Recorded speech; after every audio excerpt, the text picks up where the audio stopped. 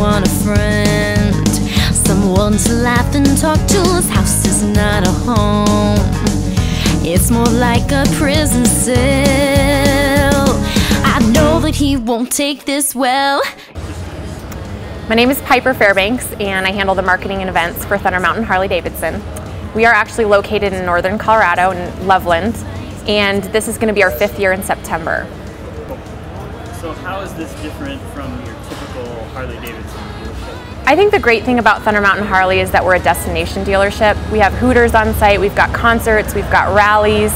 We have so much going on on a weekly basis here that people love to come here from afar, and the building's just gorgeous. Uh, we have about over 100 new and used Harley Davidsons for sale. We do full service, um, we do motor clothes, parts, accessories. We have a bunch of customs here. And we have a bunch of rentals too. We rent to people nationwide and worldwide over here. Looks like you guys have a lot of apparel. We have a ton of apparel. We have some that's called Thunderwear, which we design. We, our motor clothes manager designs actually and gets it printed. My name is Tammy Ellis, and I am the General Merchandising Manager or Motor Clothes Manager here at Thunder Mountain Harley Davidson. And uh, tell us a little bit about the department here. What you guys carry.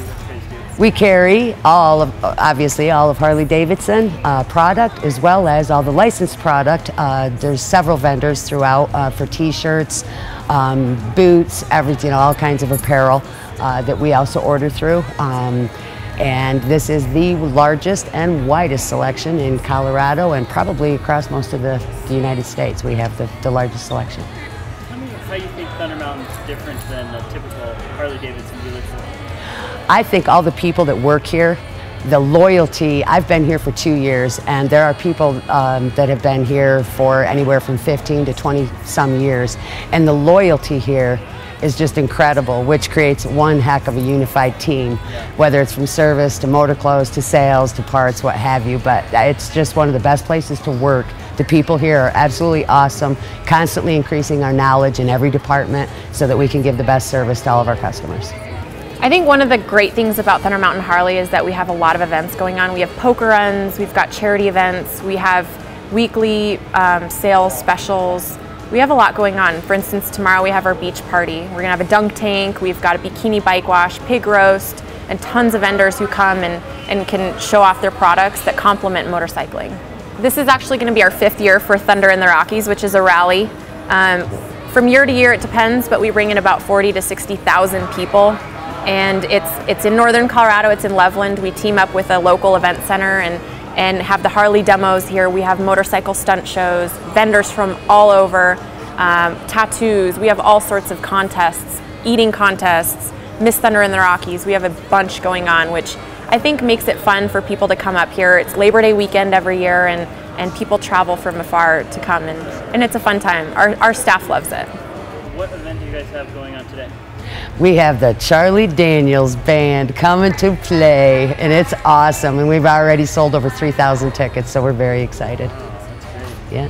Um, how does a typical day differ when, as opposed to when you have an event like this going on? During the summer months, we actually, it's not differing, differentiating much, but uh, we have several um, tourists that come through here uh, over, through the course of anywhere from April on through to the end of August, sometimes into September. So we're pretty busy all the time, very steady all the time. What's the event typically like? Um, what kind of people attend? Well, tonight they're actually doing a military tribute as well, which um, we see a lot of soldiers that come in, and anybody that comes in in a uniform, uh, our department gives them a free T-shirt, lets them select a free T-shirt, and I can't believe that something as little as that means uh, they are blown away.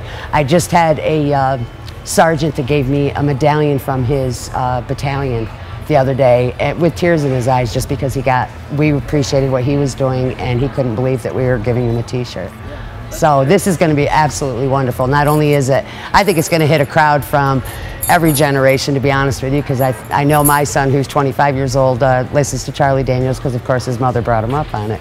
But uh, uh, my, my first uh, concert to charlie daniels was in 1979 and i can't wait to see him tonight. Very cool.